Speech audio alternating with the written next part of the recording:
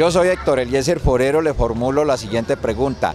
¿Qué se va a hacer para que nuestro territorio risaraldense, uno de los territorios más pacíficos del país, no se vean infectados con bandas criminales venidas de otros departamentos? Héctor, nosotros hemos tenido ya una historia en este departamento. En el 2004 que llegamos habían diferentes grupos alzados en armas en el departamento y en el 2007 que terminamos nuestro gobierno no había ningún grupo de esta naturaleza en Risaralda.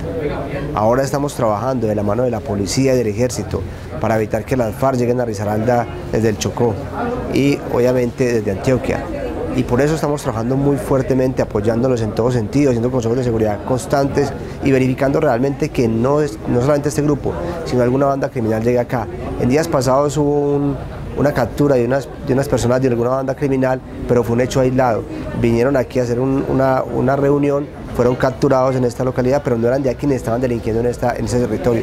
Así pues que estamos trabajando muy fuerte con la policía y con el ejército para evitar que bandas criminales lleguen al departamento de Risaralda.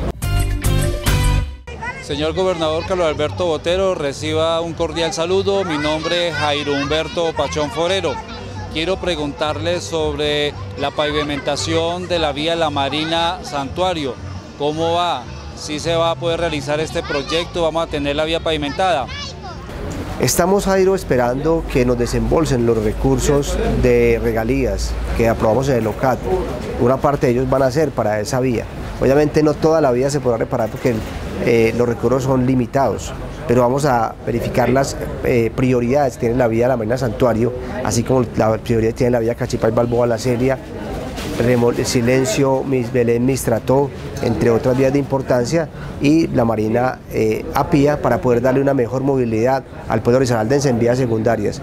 Y estamos también consiguiendo recursos adicionales para vías terciarias en todo el departamento. O sea que para la más de 30 mil millones de pesos que vamos a invertir en materia vial para mejorar las condiciones de las vías de Risaralda.